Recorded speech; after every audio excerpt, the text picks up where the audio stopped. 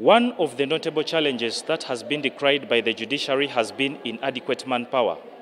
The number of judicial officers is still insufficient to match justice demands, which has negatively affected justice delivery, whereby only 31 of the approved staff structure is filed.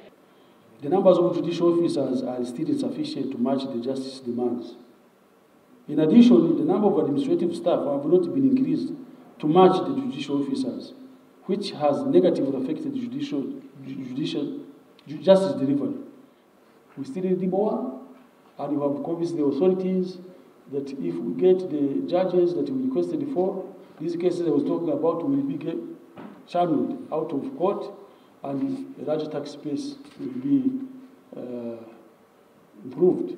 Despite these ongoing challenges, the past two years have seen a gradual reduction in the backlog of cases. Data from the previous fiscal years of 2021 to 2022 to fiscal year 2024 to 2025 indicate a positive trend. Case backlog has also reduced. Over the past three years, there has been a gradual decrease in the case backlog. From, 19, from 2021, the backlog was 30.11%. From 2022 to 23, backlog reduced to 27. 2023-24 reduced to 26. And as at the end of September 2024, the case backlog stands at 25.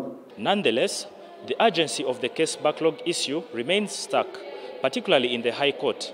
Out of over 40,000 outstanding cases, approximately 26,000 are concentrated in High Court jurisdictions, many of which pertain to civil matters. The judiciary has proposed amendments to the Magistrate Act aiming to delegate certain High Court cases to magistrates. This is something we are working on to ensure that the jurisdiction of the Magistrates Court is enhanced because for now, the highest caseload we have, or even the backlog, is in the High Court, where we have, out of our backlog of about 40,000 cases, about 26,000 is in the High Court. Now, the judiciary has submitted a series of recommendations, chief among them being an improvement in budgetary provisions to support the expansion of personnel and resources, equip crucial justice chain institutions, and to fast track the integration of technological systems. David Ijjo, NTV Tonight.